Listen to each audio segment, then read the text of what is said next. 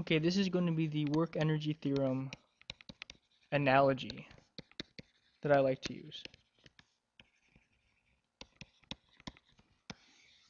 So the work energy theorem is the net work done on an object equal to the change in that object's kinetic energy. And so let's use an example where instead of energy, we use money, which means that work is the transfer of money. So to do positive work,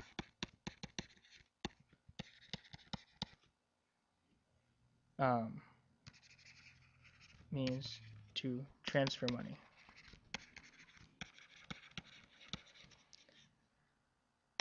To do negative work,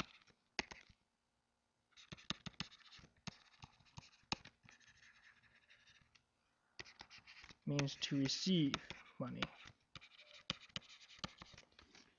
Okay. It's also important to think about this from the other person's perspective. So if positive work is done on you, it means that you gained money. If negative work is done on you, it means that you gave away money. So I'll just write that here. So to do positive work means to transfer energy. So if positive if positive work is done on you,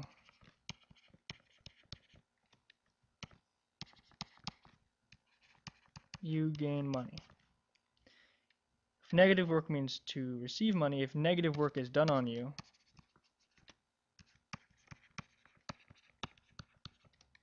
means you lost money. You gave away money. So if we're in a greedy capitalistic society, we want lots of work, right? Work means if people give us work, right? If people do work on us, we get a lot of money. So the more work people do on us, the richer we get. Okay? So let's see how this looks. Say I have three people, person A, B, and C. Person C has zero dollars, person B has, let's say, two dollars, person A has four dollars. This is how they start. Let's say person A gives person B two dollars. How generous. So they do, right, two dollars or two joules of positive work on B, right? So positive work has been done on B by A.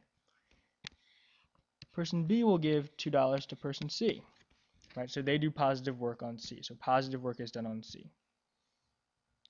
Alrighty, so now in the end, again, this is a conservation of energy slash conservation of money principle now. If person A started out with $4 and they give 2 away, right, those $2 couldn't have come from thin air they had to use their own money or their own energy. So person A is down to $2 now. Person B gained $2, but they also gave up $2. So they actually had no change in their money when all is said and done. So they're at $2. Person C went from $0 and they gained 2, so they're at $2. And now if I do the change, the change in money, right, which is final minus initial, person A lost $2, so negative $2. Person B, no change. And person C gained $2. And here's how the work energy theorem makes so much sense. The work energy theorem just says that the net work is the change in kinetic energy, and we just think about kinetic energy as regular old energy, right? And we say, well, how much energy was transferred to person B when all was said and done? It's like, well, it actually came out that, well, A gave 2, but B gave 2, so there was like no, no net transfer. Okay, if there was no net transfer, how much should B's pocketbook have changed? Well, it shouldn't have changed, right? B gave away money, but B got money they canceled out. That's exactly what we see here. This is the zero change in energy, zero change in dollars.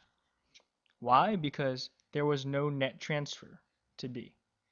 For person C, okay, positive work was done on C. Work makes them like more wealthy, right? That means B gave $2 to C. And now if I said, C, we gave you $2.